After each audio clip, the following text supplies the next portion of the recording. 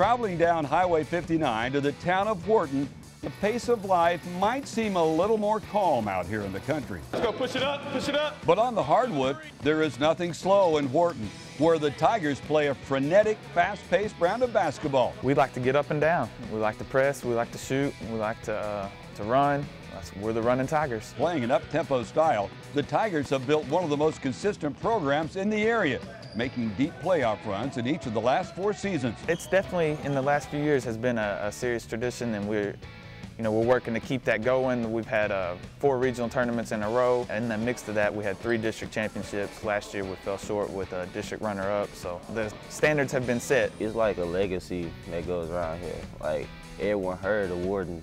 Everybody heard about winning streaks and what we went to and how we, like, came from being sorry to, like, how we is now, going to regionals year by year. The success the Wharton basketball program has had in recent years continues to cultivate more and more success with the passing of the torch from class to class. We strive to build a strong culture here where these guys rely on one another. They rely on holding each other accountable. We come in every day and we're trying to have positive energy, lots of effort, and we really want to work to make sure that we're striving to be the best that we can be every day. Those older guys still come up and support those guys that are in the program now, and those expectations are that they, they continue the the running Tiger tradition of winning and keeping the program running. Go to the four, to the four. This year, the Tigers expect to have a tight-knit squad with a core group of players that has grown up together in this quiet community, forging bonds as teammates that could lead to Wharton making plenty of noise in March. We all like brothers, been hooping with each other since like fifth grade. It's fun, it's never a dull moment. Like, it's always fun. Like, we all grew up with each other. We like more than a family than a team. This is a real close group. We've been playing with each other ever since we was like fourth to third, third to fourth grade. We've been playing with each other ever since. Man, the chemistry is right. Ever since we was in junior high, we were undefeated seventh grade year, eighth grade year undefeated.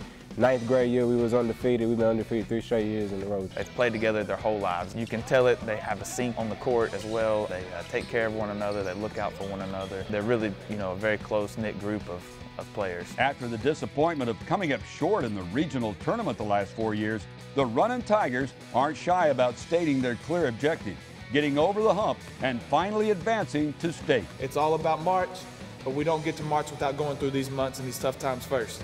All right? We got to mentally prepare ourselves and physically prepare ourselves. I'm trying to make it to state. We made it to regional tournament like four years in a row since my eighth grade year. And then my freshman year we went, sophomore, junior. We trying to make it to state this year.